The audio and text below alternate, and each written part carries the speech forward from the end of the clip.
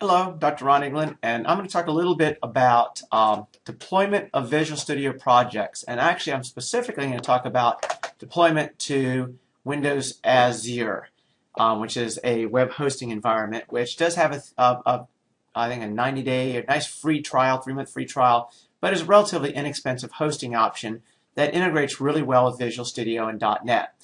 Now, the standard ability to set up an Azure website and to actually publish to an Azure website is relatively straightforward. Um, if you what you do is you come up here and you actually have this really easy ability to publish. And if you go to the Azure website and follow the step-by-step -step instructions, just publishing a website up to an Azure site is going to be relatively straightforward. And I really don't need to cover that in the lectures. I think most people can follow the instructions there. But it gets a little bit more complex when you actually need to connect to a database. So we need to talk a little bit about connection strings and the concept of connection string transformation. First, um, if you're going to be using connection strings from code that are going to connect to a database, you need to access those connection strings the correct way. So what I have here is a project, and if I go to the uh, web config in my project, I have two connection strings in this project. One's called default connection and the other one's called object database. And each of those is going to have a connection string, which is over here, that long string that describes how to get to it. Um, the default connection is actually used for my membership provider. That's what keeps track of my users and roles. And my object database is where I'm storing my actual data from my objects that I'm actually keeping, that I'm using in the in this application itself. So I've got these two databases, and they're both SQL Server databases, and you can use SQL Express or SQL Server. It really doesn't matter. But the important thing here is that I've got two databases that I want to connect to. So if I come over here to where I'm actually accessing one of these databases by code, now the membership provider is really handled in internal code, and if you use the objects for roles and membership providing that are built into .NET Framework, you're not going to have to necessarily worry about that connection. It uses the default connection. You can change that, and those are all options, and that's all done through the web config. But right here, we're really going to look at, i have got this other database that I created to store the objects that I want to store, and it is called Object Database. Now, to get that configure, to get that connection string, um, and, and the connection string is just used to actually make a connection to SQL. I'm going to use the configuration manager object. And that is part of um, the namespace system.configuration. So if you're going to use a configuration manager, you do need to use system.configuration. And it's relatively straightforward. I use a configuration manager, then I uh, use the connection strings, which the configuration manager is capable of returning multiple connection strings, and I'm going to access connection strings by, and I'm not going to do it by index, I'm going to do it by name, which is object database, and then return the actual connection string itself, which is a string that is part of those connection strings, because there's different properties to the connection strings that you can return, but the connection string itself is a property that you want. And in that case, I create a new SQL connection using that connection string, and I then access the database with that. So You've hopefully used connection strings before, and this is something that is fairly useful to you. Now, realize this project is running on my local computer, connecting to a local SQL Server instance that I have here. But what if I want to deploy this? Okay, if I want to deploy it, I have to, I'm going to have a different database that's going to connect to, not the one on my local machine. Well, um, deployment has that ability built in. So the first thing we're going to look at is that concept of transformation of your configurations. So if you go to the web config and you've actually set up the ability to deploy from Visual Studio to Azure or any of the other possible hosts, but if you set for automatic publishing, so you'd have, so in that case you'd be able to right click here and say publish, okay, you will go ahead and you will have these other web configs in here. And we're going to look at this one called web release web.release.config.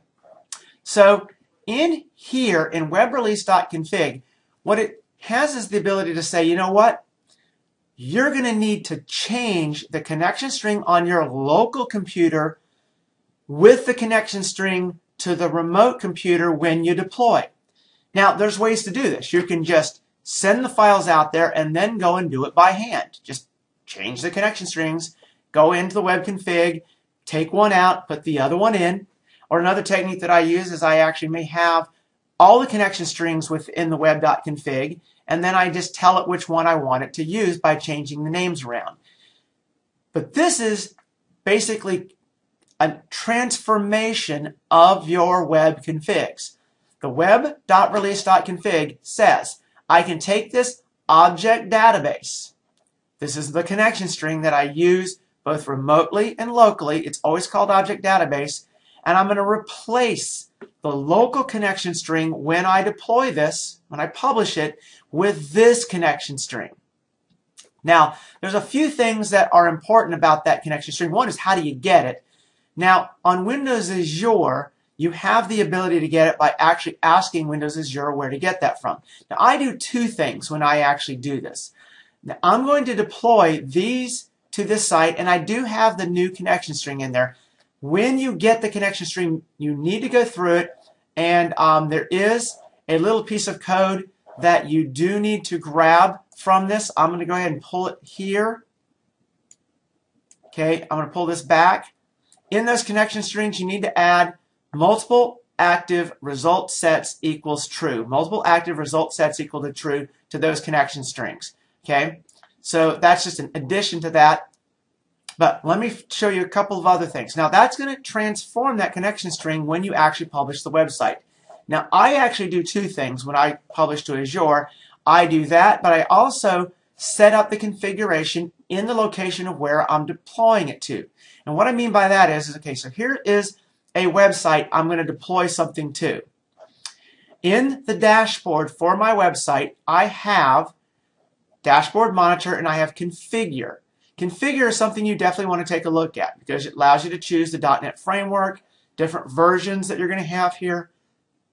But I also have the ability to set specific connection strings. And if you notice, I've got default connection and object database. Those are the two connection strings that I have that I'm going to deploy there. And I it's hidden right now, but I can actually show them. If I show connection strings, it's got those connection strings right there.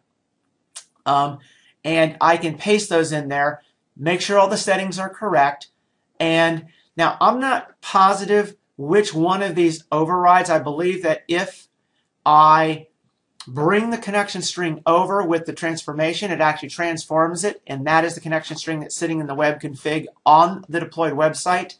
And this connection string also looks for that, but the two connection strings should match between web config and here. So I actually do both when I do deployments. I set the connection string within the configuration manager, which you do should actually be able to look at the configuration of a website in Azure okay, and be able to look at the different settings that you have. Like some of the settings which are important are, you know, default.htm, default.html, default.asp, default.aspx. That's the actual precedence order of which it's going to look for the page that it goes to by default. So that's kind of an important thing. Now, one more other thing here. If I'm in Azure's manager right here and I go to the databases, click over here to DBs, whoops, um, SQL data, not SQL, I don't want SQL report, SQL, SQL databases. Right there, here's the two databases. I created both of those. That is also an exercise I will leave to the user. Creating a database in Azure is not tremendously difficult, but once you get into the database itself, you have the ability here to actually pull the connection strings, which will show up here in a little bitty window here. And there's the connection string. Just remember, it says your password here. You got to change that to your password here. But it has it for the different um, environments that you might need to connect through. So you're connecting through ADO.NET, and there's the connection string that you would actually use in ADO.NET to connect to it. So that's how you actually get that connection string.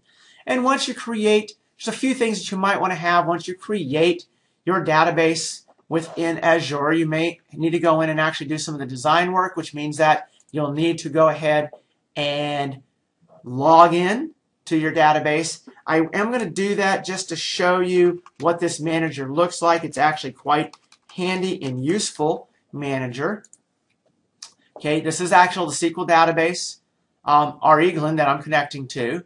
and I have a little manager. I have the list of tables, views, but I have an actual query window where if I need to like create table, okay, it's a SQL window. You can put the create table right in there. You can go ahead, once you've done it, you can hit run and it will execute that SQL.